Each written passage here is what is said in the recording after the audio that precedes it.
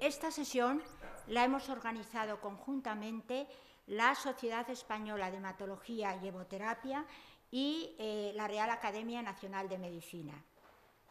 Además, ha colaborado también últimamente la Real Fundación Victoria Eugenia.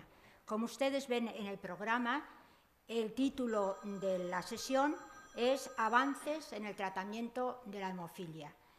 La hemofilia es una de las eh, enfermedades hematológicas que más ha evolucionado en los últimos tiempos. Realmente el avance ha sido espectacular.